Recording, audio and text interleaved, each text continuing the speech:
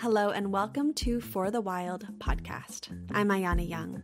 Today I'm speaking with Ella Noah Bancroft. I think this is why localization is so important because we've moved into this global community where people come and go so quickly that they use the landscape as if it is like a backdrop to their life and they don't understand the real importance that it plays.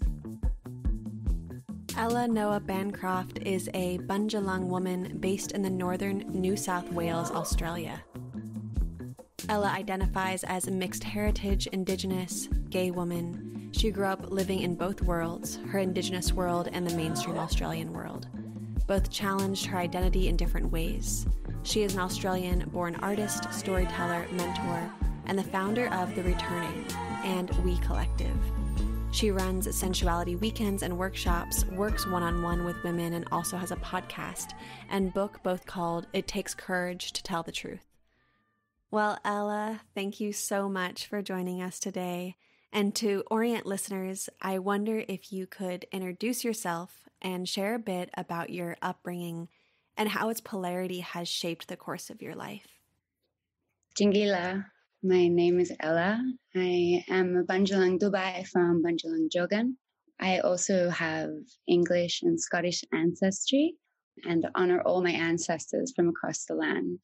And I'd also like to take this opportunity to just acknowledge Indigenous people from all around the world and pay my respects to elders, past, present, and emerging and also honor those who live in harmony and understanding of kinship and connection to nature.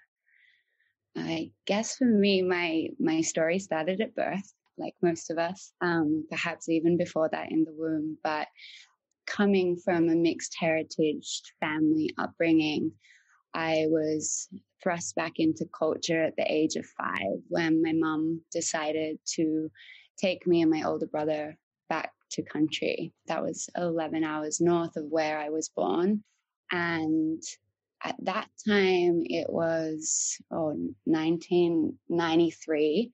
Off grid living wasn't as trending as it is now, but we moved on to what was off grid, essentially a house with no electricity um, by a river about an hour out of town.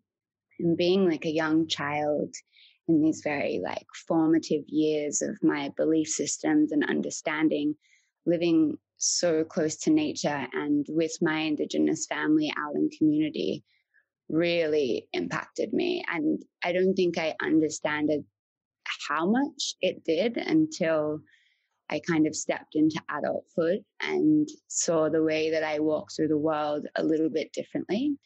I lived there for some time and then moved back to the city and kind of had my foot in, yeah, both spaces, both me and my older brother, you know, transitioning from a mission, which for those who are in America is the same as a reservation. It's basically a place where um, the missionaries came over during colonization and they grouped indigenous people together, took them off their land and, and Christianized them essentially. But what we moved on to was kind of like the fractured missionary because it was one where all the missionaries had left, but the mission was still standing. So this kind of, you know, dislocated culture. I, I was brought up in one where we were living close to the land, eating, you know, a lot of native bush tucker and, and animals purely because we were an hour away from town. Um, but also that was really true for a lot of my family to just be like that, to bathe in the river, to to have this kind of deep kinship and relationship with nature without even naming that. And I think having that time, yeah, my belief system about the way that I wanted to work in the world was very much ingrained in custodianship and wanting to ally for nature and and also for my indigenous community here in Australia. It's a interesting time that I have been brought up in with a lot of big kind of cathartic moments for indigenous people happening here on this continent but still a lot to go and I really think only in the last couple of years has the mainstream Australia started to understand Indigenous trauma, Indigenous culture, and actually that the Indigenous way of being is is the most environmental and harmonious.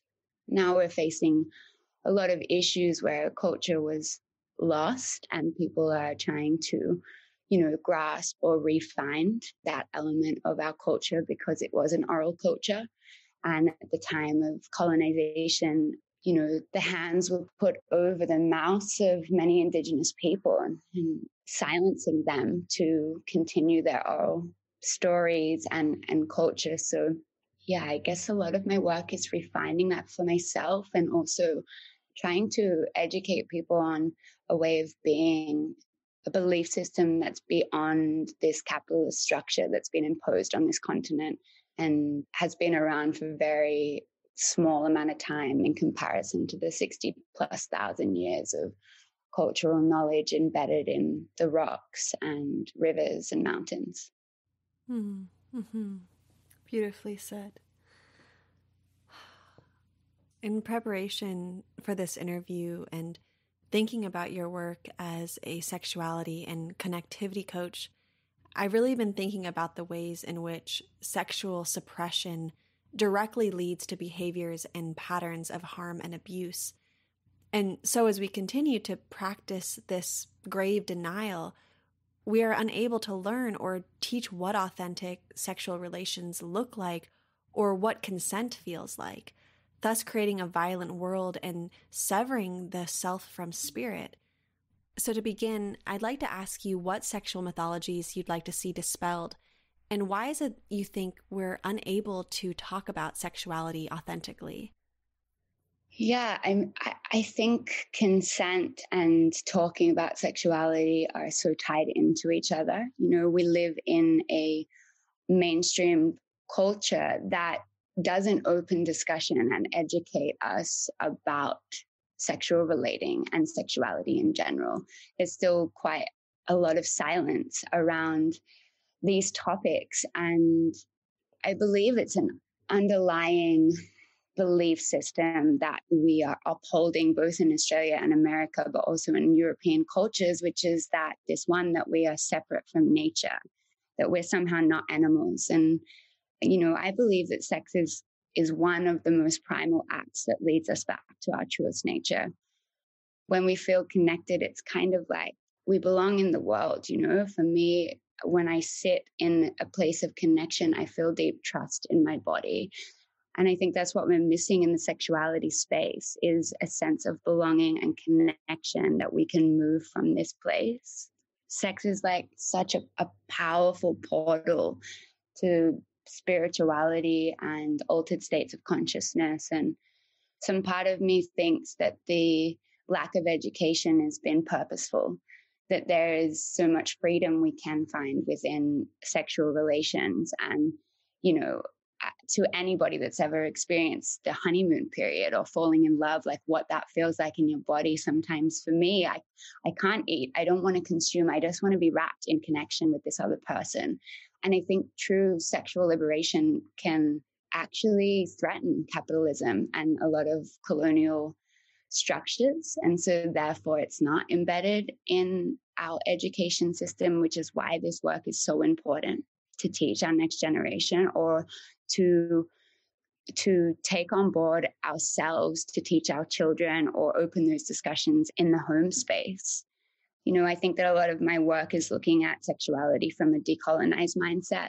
So, one that isn't looking to kind of capitalize it, but rather guide people or, or assist them to realizing that so much of our power is inside of us and that so much of our ability to go against these mainstream capitalist ways of being is embedded in deep connection.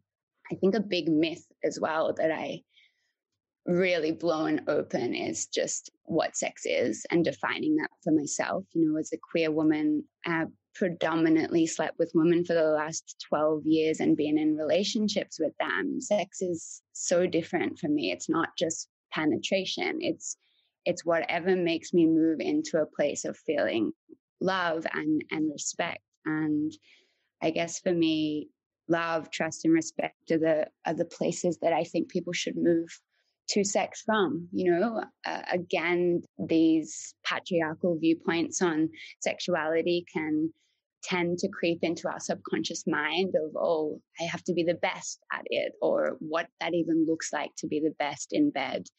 But through my work, I don't think that there is a best. I think it is just based on connection, you know, and presence and deep listening is for me the number one way to enrich a sex life. And it's like looking at sex the same we may look at it as a spiritual practice is that how can we show up in our entirety in this current moment right here, right now, with n- not much else going on in our mind and just a place of fun and exploration. And from these places, I think we can learn to relate more healthily and and not see it as uh, you know sometimes i think there's this idea we need to conquer insects which again is very much a patriarchal colonial mindset rather than just being in the free flow of what's happening. So i guess a, a lot of reasons why i do this work is because i want to stick it to the man you know stick it to the capitalist system and and remind people that when we're in deep levels of connection, we really aren't looking outside of ourselves for anything, really, you know, whether that be food or clothing or the next holiday, we can really sit in what we have and and and be humbled by that.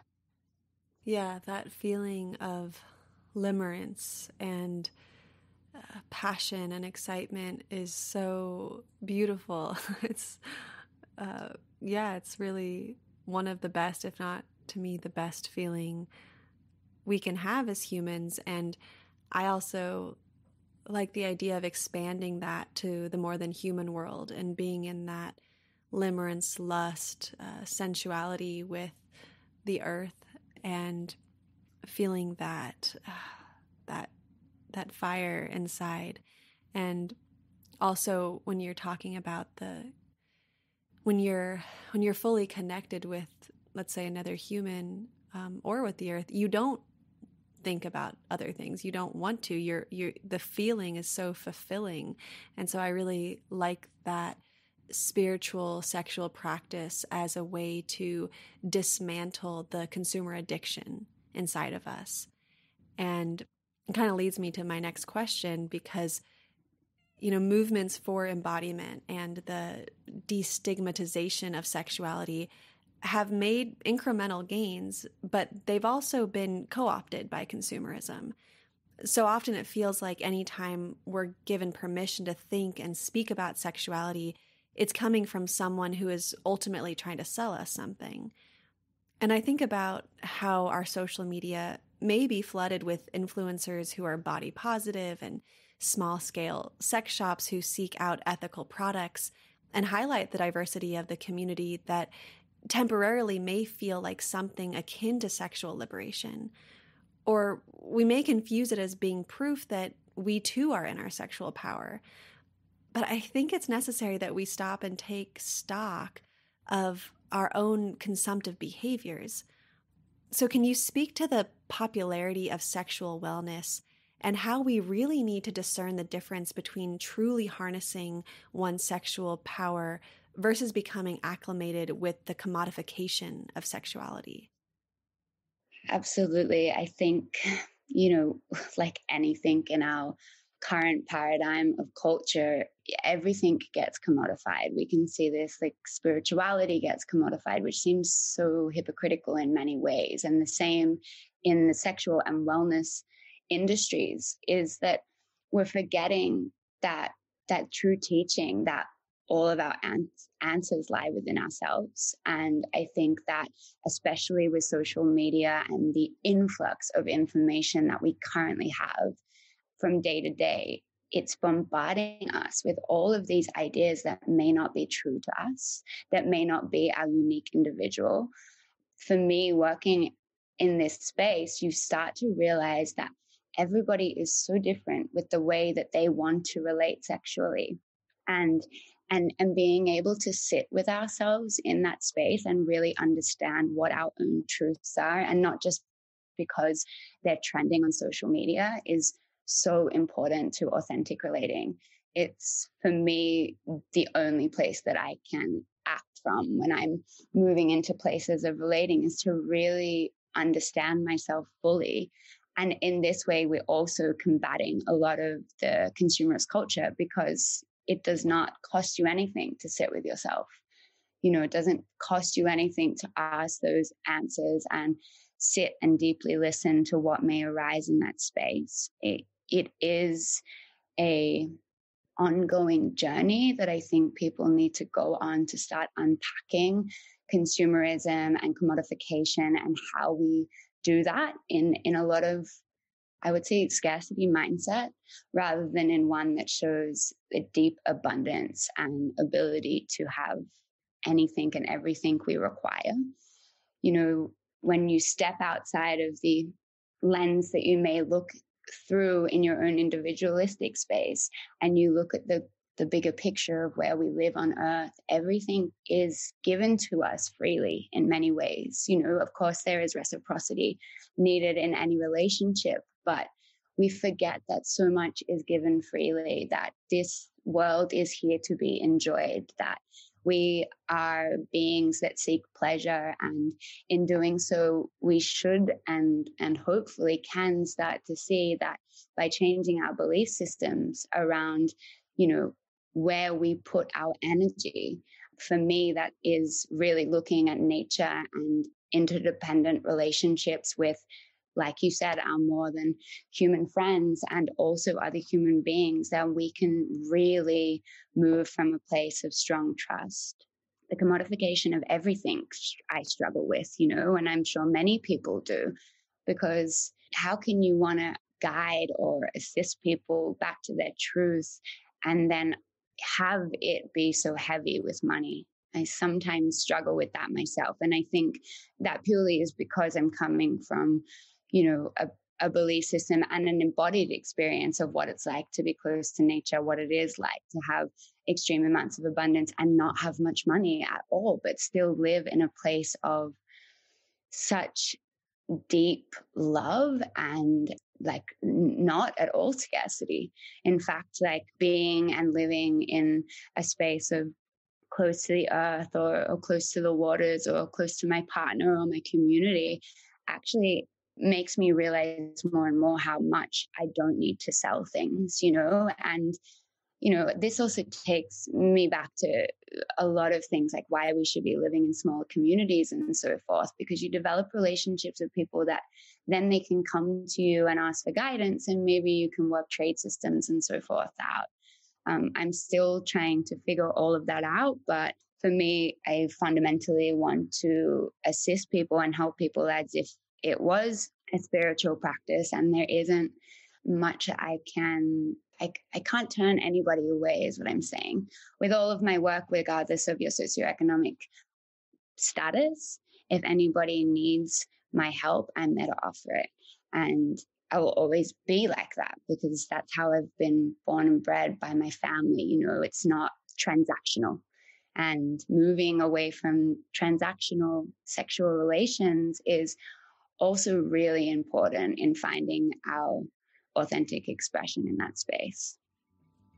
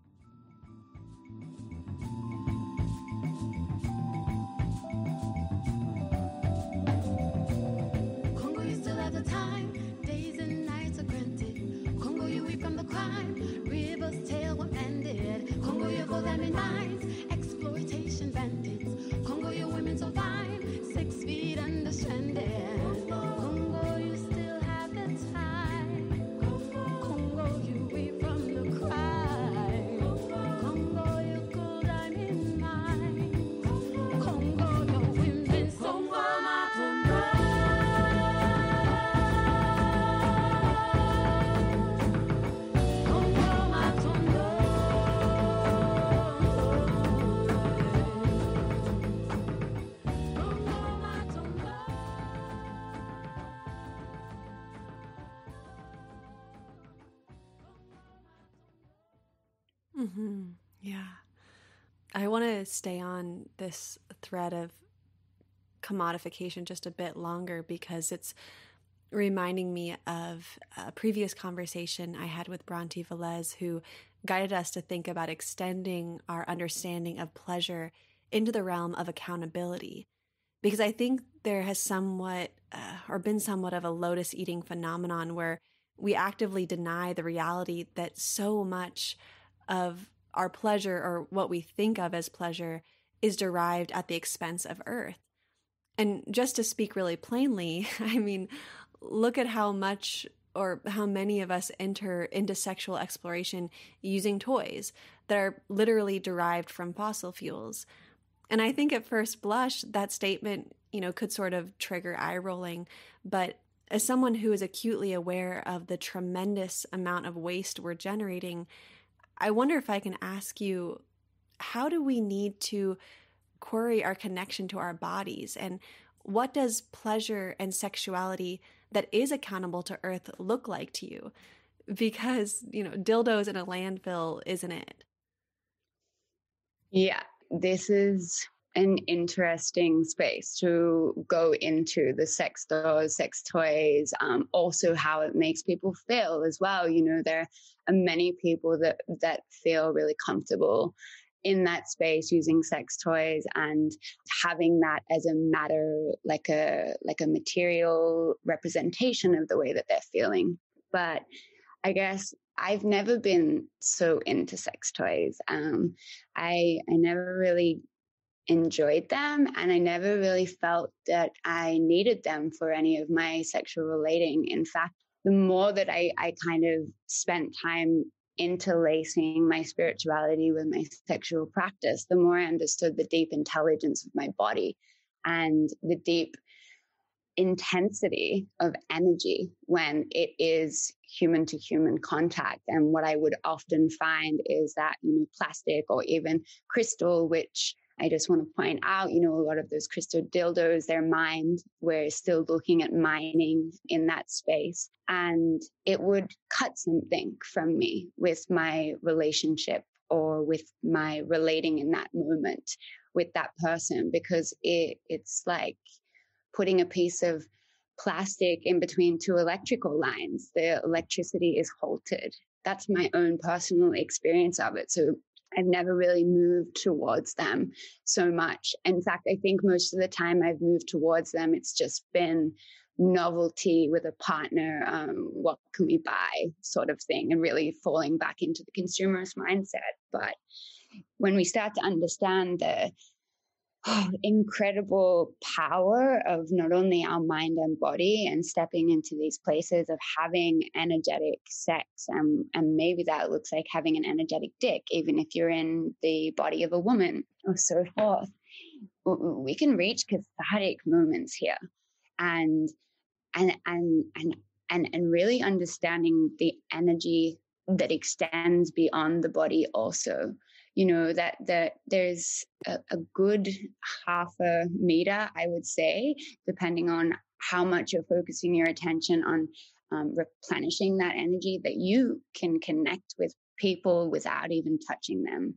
I think we've forgotten a lot about subtle nuances and subtle ways of being in this world so much so that we think that we have to have all of this like extremity, you know, like intensity.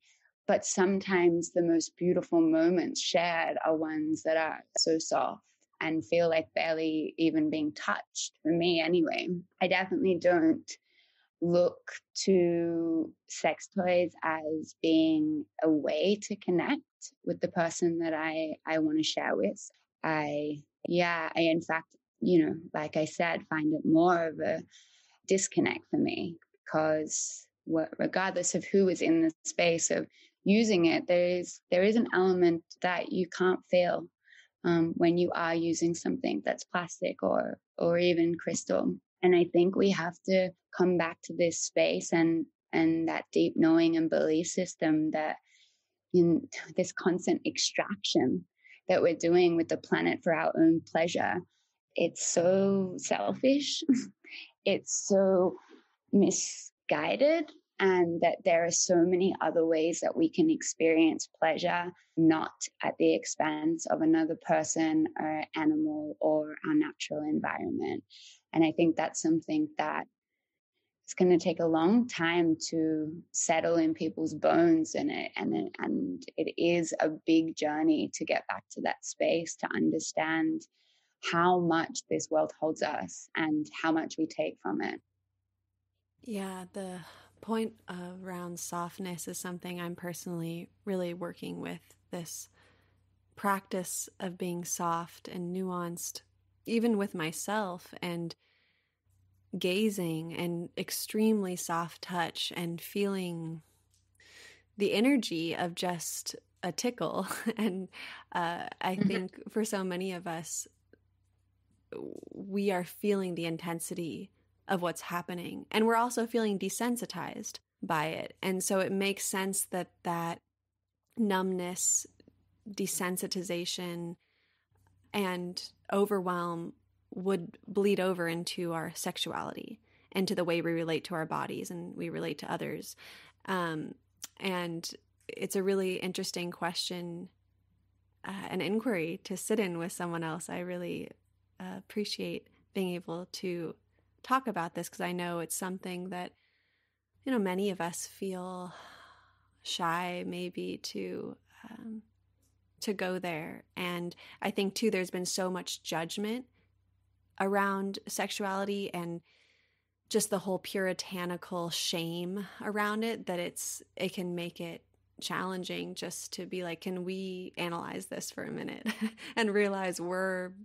We're all in it together. You know this isn't something taboo. It's you know it's just funny how much it's been um yeah demonized and all that jazz but uh, I was just gonna say, you know, I, um, I just thought like there is also opportunity to use like more organic based sex toys as well you know if that is people's options um if people are feeling that they need that like deeper penetration that they may not be able to get you know um the first thing that just came to my mind is like an organic zucchini you know or a cucumber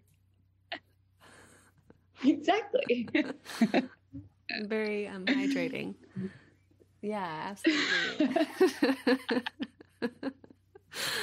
yeah. Grow your organic garden and your orgasms.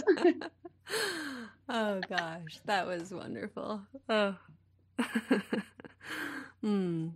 Well, that brings a whole new meaning to um to gardens now. So hopefully we're all in the mindset of what we're going to be growing this next year for all the things we may need. But um, yeah, this conversation also brings up another topic you write about, which is truth telling and authenticity and transparency amidst a paradigm of fake identities and a culture of lies, be it in our media or our own curated identities. And I think it's incredibly difficult, if not impossible, to find liberation when we're constantly lying to each other, uh, lying to ourselves and to earth. And one thing that comes to mind is that we are really telling ourselves a lie when we suggest that misogyny isn't alive and well in almost all that we do.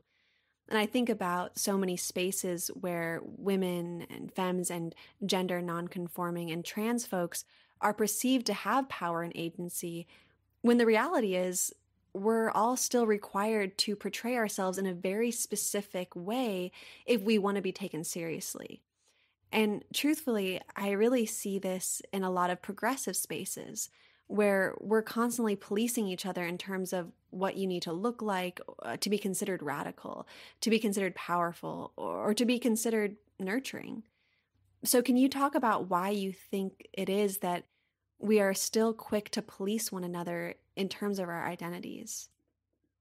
You know, if we look at the root cause of why there is so much inauthenticity around us, is is really got to do with the culture in which we're brought up in. And for me, if you look at this Americanization, uh, you know, Australia is very Americanized in our culture, but our culture is essentially pop culture. You know, when you look at other countries around the world, they have culture embedded in thousands and thousands of years of being and living and um, existing on the planet. And we have created this godlike um, mentality for celebrityism, actors and pop stars. And this is essentially a inauthentic industry that is teaching our young people how to be in the world. Not only that, it is seen as for many people in the mainstream the pinnacle of success to reach that place of fame. And I do think, and I talk about this quite a lot with my mentor, that this over policing, this idea that we have to attack each other is coming from a deep desire and need to be heard and seen in a world where we can be drowning in amongst the crowds.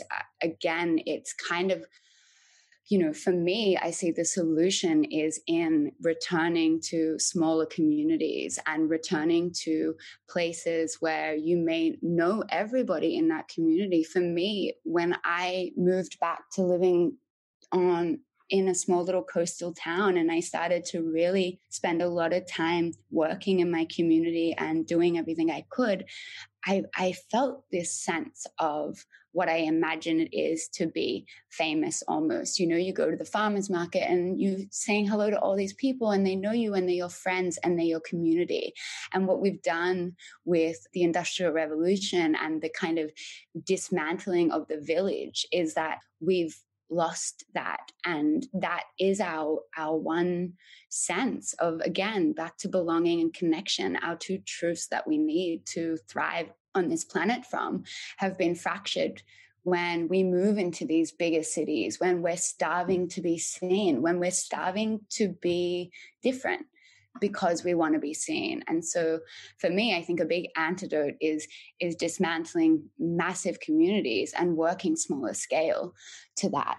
I think also it's um looking at you know the the belief system once again that runs through us that is the need to to be the person in charge to be the teacher. And we see it a lot nowadays with i think the influx of information on social media especially but suddenly everybody is you know a teacher and it doesn't matter if you're 15 or you're 50 uh, I always look at that as so tricky to digest because for me, in my culture anyway, you have to go through a lived experience, you know, and, and in my family, you don't become a teacher or an elder um, until you're beyond 50.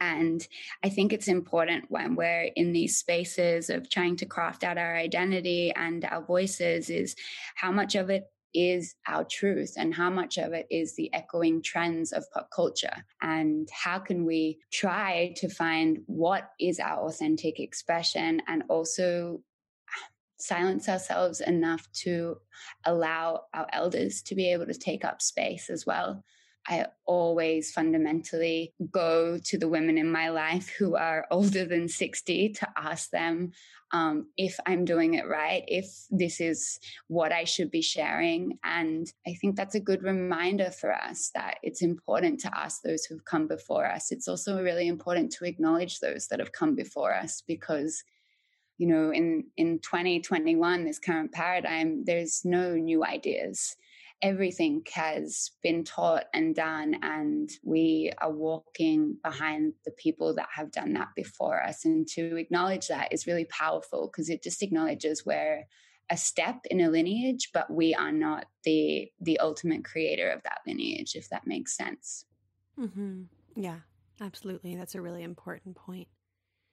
And I've heard you speak about the reality that the feminist movement as it unfurled in Western societies, particularly in the US, is actually really detrimental to the work we are trying to do now because it shifted women away from the care economy away from the community and away from family in the name of equality.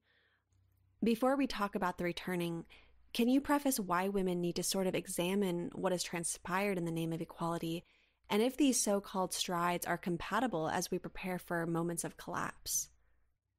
Yeah, this one is an interesting space to maneuver from. You know, my whole life I've felt like I've been a fierce feminist, and that definition has changed as I've gotten older for sure. But I definitely started to realize through deep investigation, um, not only with my spiritual practice in my 20s, but also just the feminist movements, how it it was underpinned by the fact that women had to rise to meet male standards. And for me that is so lacking that that we couldn't be seen as our most powerful selves for what we contributed to our community as the healers, as the mothers, as the bearers of life and creation, that that has somehow in our mainstream culture fallen to be the lesser. One thing that I'm constantly striving to do is to change the belief system that motherhood and mothers is actually one of the most significantly important roles that we need in our community, and that those people need to be lifted up and told how important they are. Because at, in this current space, a CEO of a bank is seen to have much more credibility and status than a mother of three. And for me, I can't comprehend that. I think the feminist movement, as much as they have done so much good for us as women in terms of our ability to make choices and think freely and be in a place of strong embodiment, it has also told us that we are only successful unless we put those pants on and get into that office. And, you know, I think um, breast milk formula actually came out of a lot of mothers returning to the workplace and then not being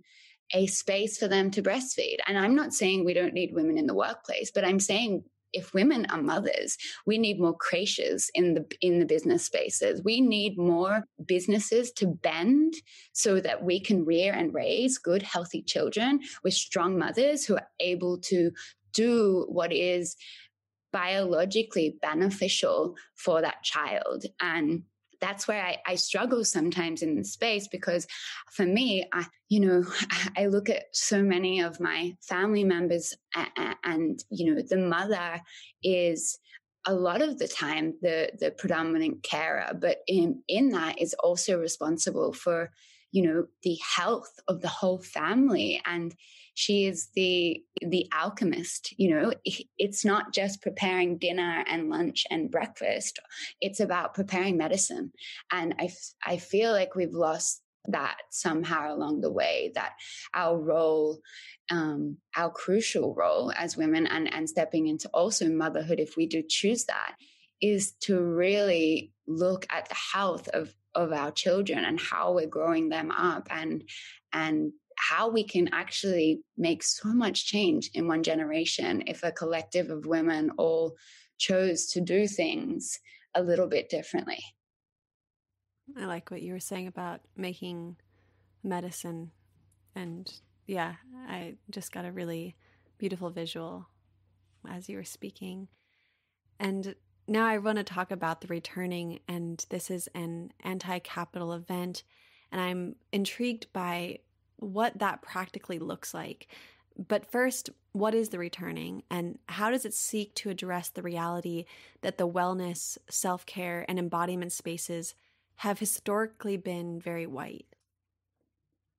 Yeah, the returning burst out of my need to see more indigenous and diverse voices stepping into spiritual and wellness spaces. So it essentially is a 100 women event run over two days. Um, there's 15 workshops, two panels, and all organic local produce served throughout the day, both lunch and dinner, plus snacks. The event is a little bit different in that we only actually sell 35 tickets um, and the other 65 to 70 are given away to scholarship holders, um, Indigenous women, refugees, single mothers, and women with disabilities. Also, we have exchange tickets for women who want to be a part of creating this space. And and for me, it was about creating a space where everybody is welcome, where everybody can reconnect to nature, where everybody can learn the skills that have for thousands of years been freely shared amongst women in order to make communities healthier. For me, this is my one way to give back to my community and to women to show a different a different structure and one that's a little bit more embedded in the gifting economy and and for us as a community to see how that ripples out how we can stand in for me, my privilege, I can stand in my fair skin indigeneity and the privilege I have to run this event to put it on for other women who are less privileged than me. It, it, it's about um, giving up a bit of, of my own power and, and also kind of trying to get other people to look at giving up a little bit of their own power to make space and way for women to step into these pretty white dominated structures and systems. And health and wellness and spirituality for me are the pinnacle of a good life. And women are also the backbone of society. I believe that to be so true so if we can continue to come together and share knowledge freely with each other on how to live that best life outside of the education system that's definitely not rearing us to be the healthiest people and look after a planet the healthiest way, then that's my small amount of service that I can do. I I, I see it as yeah, just I, I, see it as a way of moving forward. I don't think that we can continue to create things just for capital anymore. We are really running low on resources and we have so much knowledge to share. We have so much to share. I I just want to reinstate to my community and the women that attend this event sharing and how powerful sharing can be and it really it is it's indigenous ways of being it is removing this western mindset of hoarding and scarcity to see that when we share and when we are there as a collective how much we can do and it, has been such a a big growing um, time for me to put this event on. I've done seven now, and I can hope to continue it for the rest of my life. Yeah, the way it works is a really the most circular gathering I could imagine because the 35 tickets that we do sell enable all 100 women to eat and be and live on the land. And, um, you know, I'm also very fortunate to do it at a location that's completely off grid. So we just had like our carbon emission um, calculation done. And uh, I think um, 20 plants over the full two day event need to be planted to bring us back to a equilibrium of not creating any emissions, which is also really powerful. And a big part of my work is also cr- trying to create events or gatherings that are um, not taking and extracting. You know, we have gathered on this land for thousands and thousands of years and given back to it in those gatherings. And I think it's a time to remember that and remember that we can come together without it having to be at the expense of each other in the earth. Mm-hmm. Yeah. I'm with you there. Well, I'd like to expand our conversation on whiteness, identity, and belonging a bit. In the United States, historically at least, those who were physically in closer proximity to whiteness, regardless of ancestry, often took the opportunity to distance themselves from their ancestry in the name of social mobility. But now I think we're also witnessing the desire of folks to actually try and distance themselves from their whiteness because of shame. And comparatively, you talk about how the Australian government desperately attempted to breed out black skin. So, as someone with mixed ancestry, the act of acknowledging your Indigenous relations is pivotal. Can you share about what proximity to whiteness means in Australia and how that molds your views on embodiment for those who have inherited the legacy of being, as some describe, colonized and colonizer, which is something that I think more and more people are going to have to navigate through? I, I mean, my whole life, this has been such a big topic for me. Um, being a fair skinned Indigenous woman, but I grew up with a mother who was fiercely passionate about owning her indigeneity because of the implications that had occurred to my grandfather because of his black skin. You know, there was um, a, a, rebellious child in my mother for sure that went against the grain, even when her family persuaded and told her that they shouldn't talk about their Aboriginality. You have to also remember in the context of of our country, it wasn't until 1967 that Indigenous people were even seen as um, human beings in their own country. Before that, we were considered um, flora and fauna. Uh, this current stage, with 3% of the population, and in the many different policies that the European government, which has colonized this country, um, has put in, has all been about disconnecting culture um, and breeding out the black or assimilating. We're still seeing a lot of these policies today, and and the way that our government is trying to kind of uh, make Aboriginal people invisible. And I think that runs deep through every Indigenous person that has Indigenous blood and lineage is that we must identify because we're fighting for our lineage, we're fighting for our ancestors, we're fighting for our family who were unable to talk out loud about their culture. And if we stop claiming our identity, then they've won. The policies have done what they are meant to do. They have successfully removed us from our truth. And I grew up with a mother who painted, uh, you know, landscapes and indigenous artwork all all over my house. Her studio was our lounge room, and I was just always brought up knowing I was Aboriginal. But it wasn't until I started kind of stepping out into the world and, and claiming that, that I was rebutted with, oh, you don't look Aboriginal or how Aboriginal are you? And I think sometimes we can forget how offensive these questionings of people identity are. You know, I, you wouldn't walk up to somebody who is queer and say like, "Oh, you don't look queer," or "How queer are you?"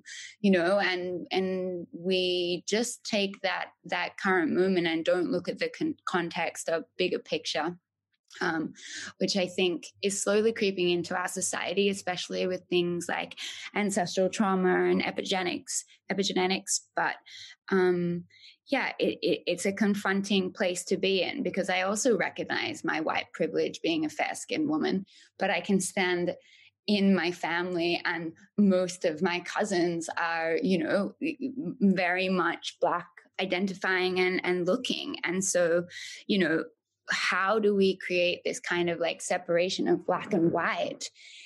It's just the continual divide, you know, that we're trying to. Mm, I feel like society is like permeating this continual divide, you know, and I think for me, a, a, good way to look at white guilt or even to assist people who are dealing with those spaces is recognizing what is your ancestral story and where was it in your line that you got displaced from living close to the land? Because we can continue the black and white polarities, but until we start to actually understand that we've all been colonized and some have been colonized, you know, earlier than others, until then, how can we re return to a place where we feel like we belong to this earth so a big part of also the returning is is is really encouraging women to refine their story through their ancestry,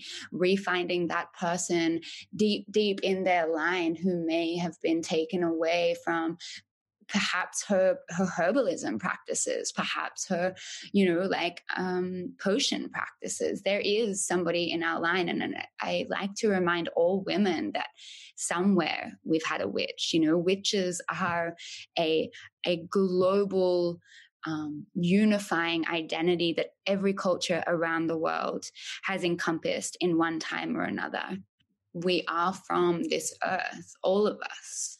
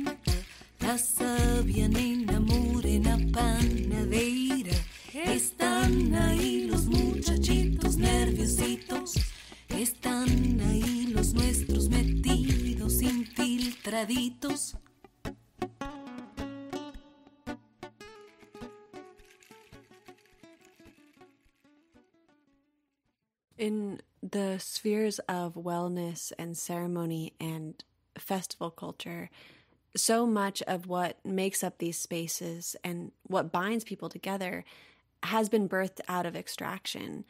But it's an extraction that takes place under the guise of appreciation and knowledge. But if we say we care about Earth and we care about community, then I think it's our responsibility as well to really explore the legacy and impacts. So I'd like us to sort of explore and challenge this notion that wisdom can be extracted from so called other places without ramifications. How does this legacy continue, and how can we make reparations for the long lasting effects of spiritual tourism? As well as any reflections you might have on this or how localization and learning locally without appropriation can fit into this conversation. Yeah, I mean, again, um, this ties back into what I was saying about finding out your own story and really diving deep into your ancestry to understand um, what in your lineage you want to continue and pass forward. And I think we see this a lot in especially the spiritual communities is a, a real it's just a, a real disregard for those who have the blood connection to the teachings and those that have merely um, done a course or training in this space. I think in order for us to move forward, we have to start recognizing what our own story is in this place and teach from our own lineage and, and our own stories because any other thing is just colonization again continually. you know I, I, see this more and more not just in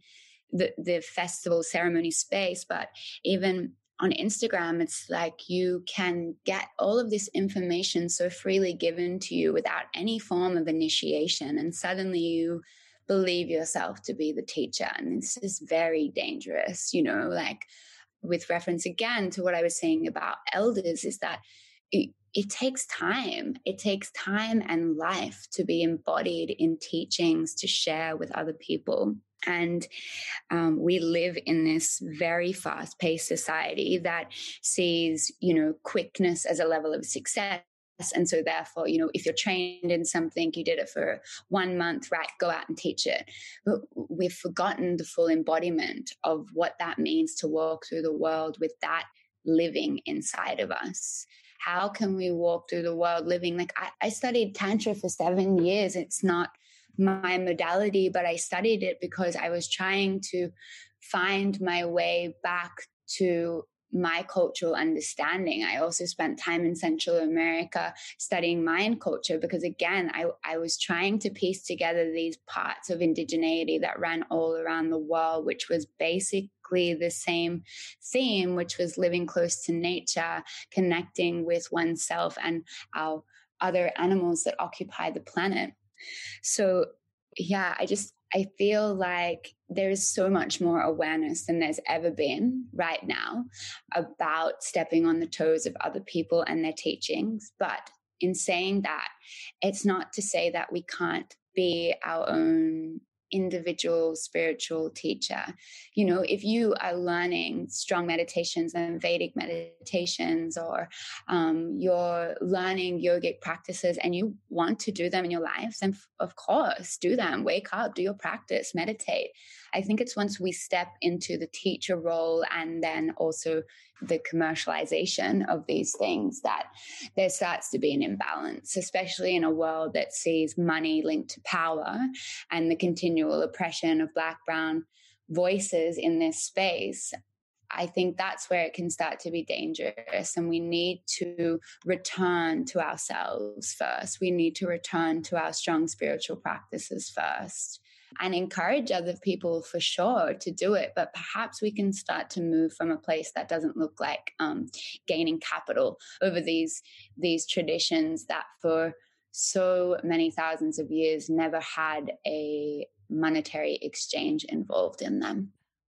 When I think about what you're speaking to, this non capital way of relating, I know it can be hard for so many of us to imagine what a world could look like beyond capitalism. But if we don't practice it, we're not going to get there. And so I think the practice that you're in is important not only for your own community, but also to inspire others that people are doing it.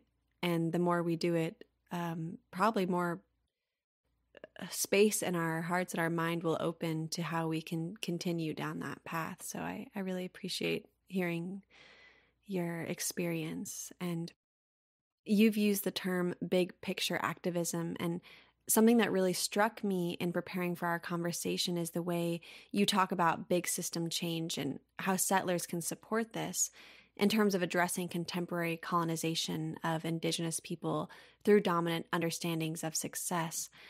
Now, similarly to Australia, here in the States, settlers think that celebrating the BIPOC community in positions of power you know, any sort of power is equivalent to the writings of historical wrongs.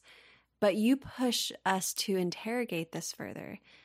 So, can you speak to this facet of big picture activism? Yeah, big picture activism. I um, firstly like to acknowledge my mentor, Helena Norberg-Hodge, who has been in the localization movement and the forefront of it for a very long time. And um, introduced me to this idea that uh, a lot of the times we're all fighting these little fights, but the little fights are all got to do with something that's much larger. And if we just zoom out a little bit, we understand big picture activism as pulling down a structure that has created uh, oppression and by that, I mean the colonial capitalist structure, which I try to explain to people is like a pyramid scheme. If you can see that everything is going up and being funneled from the masses down the bottom all the way up to the top, rather than implementing another kind of system or structure, which may look like a circular um, reciprocity, something that is working in conjunction where you're giving and taking. Now, the problem I'm, I'm finding, especially in today's day and age, is that we're just replacing one puppet with the next and somehow thinking that that is going to be the solution. And, you know, I'm talking about politics mostly in this space because the politicians are just oiling the, the big machine like system that controls all of us. So I, I don't see us having change by having an Indigenous prime minister who's operating under the crown, um, the colonial crown, which created and destroyed this land. I don't see that as being able to make change. What I see being able to make change is to pull down the entire structure and this system, which is embedded in exploitation and extraction. And if we can look at anything that it has done in the last you know, for us, 200 so years is destroy and desertify our beautiful continent that is Australia. So I, I, don't understand how just jumping into this structure and trying to make change is going to occur. We need to pull it all down. I am so fiercely passionate about the big picture activism because I think we we get lost in the little fights and you know we can forget sometimes that we're all trying to fight for the same thing which is essentially freedom uh, the essential need to be free in this world um, which is our birthright really our birthright to be able to be close to nature, to understand intrinsically what it means to be on this planet, to belong, to connect, and all of this this machine like uh, intense technological future that we're moving into is only going to perpetuate more harm. I can see that happening so close. Like uh, it's like uh, the veil is lifted and i'm like oh right okay it doesn't make sense to move into a technological future where most of our sustainable renewable energy is also being mined.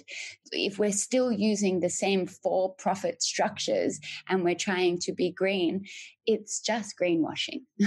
It's just uh, again feeding something that is ultimately destroying our right as human beings to be in our most healthiest version of ourselves on our healthiest planet that we can be. Mm-hmm. Yeah. Thank you for bringing up the mining of renewables. That um, even though I know so many of us just want that solution, we want the quick fix or just a fix in general. Uh, but that's not it. And it never will be. And so, yeah, we really need to um, truth tell about that to each other so we don't put so much energy and hope and creativity into the technological future, but instead one that is grounded in realness. um, and it's all it's all there you know like our history it's all there like we have the ways to be able to live symbiotically with nature. We have the answers. You know they they are the answers that will actually make the majority of people come from a place of being able to benefit but that's not the system that we're under right now. And until people like lift that veil and understanding that we're all working in this system that is not beneficial for us. It's most certainly not beneficial for the next generation. It's beneficial for a small amount of people who are so fiercely disconnected from what is their truth, you know, as they continue to work for this. Like, again, I say it's a machine like structure because I do believe that human beings have the utmost um, wanting to to be the best that they can but our belief system is wrong. You know our belief system is embedded in an economic um, structure rather than an environmental one. And and that's something that we need to look at. How do we shift that core fundamental belief system so that we're fighting for the thing that really needs us to be fighting for which is the earth? Mm-hmm. yes.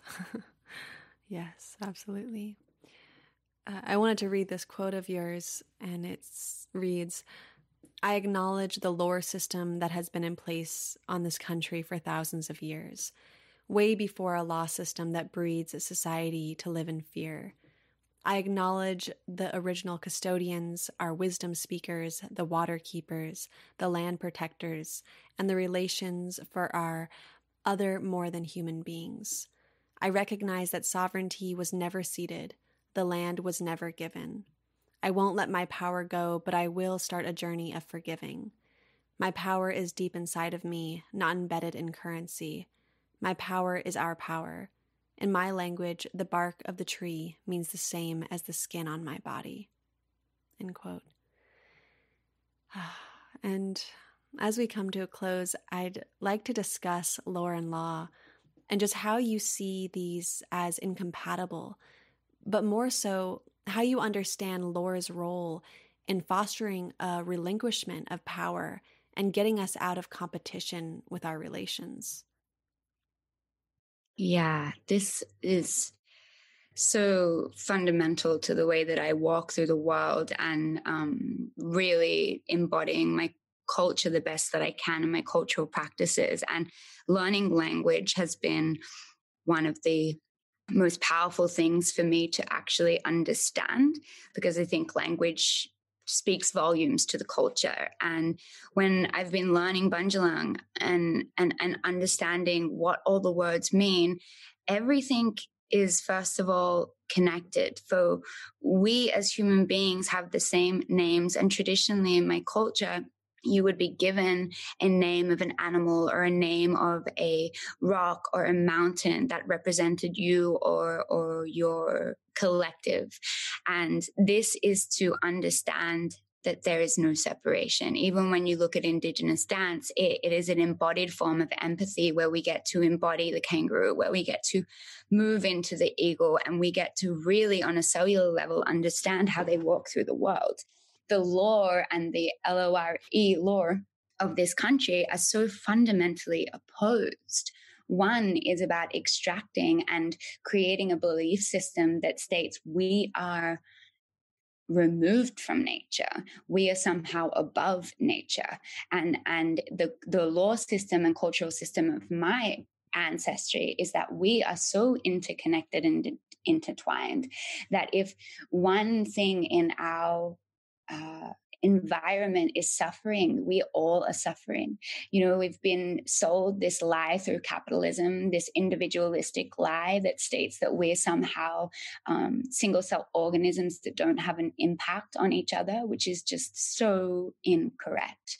You know, the interconnectedness of this entire planet is so vast and they talk a lot of you can see the butterfly effect you know think something happens on the other side of the world can affect the other side of the world. This is constantly a state in which we can bring balance back to the to the earth by creating balance within ourselves by being able to understand that that kinship goes beyond humans. That kinship is to that tree that you spent every day with for four years and meditated under and provided you with berries and allowed you shelter you know the, the difference is that we no longer live in a natural world where nature is always um, like our biggest protector. You know, we've created these structures and we've moved away from it, even though all of these structures are embedded in natural materials in some form in their original place, but we've dislocated ourselves from this. And I think until you start to reestablish a relationship with nature, eh, you can't fully understand it. And so I beg people to go out and embody the experience of what it is like to build a relationship with a rock you know, a rock that may have been on this planet for thousands and thousands and thousands of years, you know, and carries a spirit as well. And and to not see the natural world as something that is there for us to use, but to see it as our actual family, that it has a living spirit inside of it, that we can move from a place of magic and discover great magic when we fall into subtle to subtle relationship with nature. And for me, it's been a big journey of trying to slow down, unpack my very fast moving mind to sit in a space with one thing, maybe for an hour, maybe for two, you know, that could be a plant, that could be a flower, that could be a an animal, you know, but to really start to reestablish a strong connection. And I think this is why localization is so important because we've moved into this global community where people come and go so quickly that they use the landscape as if it is like a backdrop to their life and they don't understand the real importance that it plays with us. And when we localize, we spend time in the same place. We become familiar. We make memories with the rivers. You know, the river, it, it, it, it becomes more than just a place to swim. It becomes a place of great understanding of our life. And that's that is how the law system worked for for my people was that you know these things are are the the stories. They hold the stories. The dreamtime stories are part of who we are and they're embedded in our natural landscape and they are our ways of telling the next generation how to grow up with a thriving abundant life you know? It's it's so fundamental that we continue the oral communication and understanding of storytelling embedded in a perspective that's seen nature as our deep, deep kin. Mm, that was beautiful. Thank you, Ella, for closing us out that way. Uh, really appreciate your time and all of the places that we went to in this conversation. Mm, thank you. And thank you for all you do. I love your work. And yeah, I really appreciate being on the podcast today.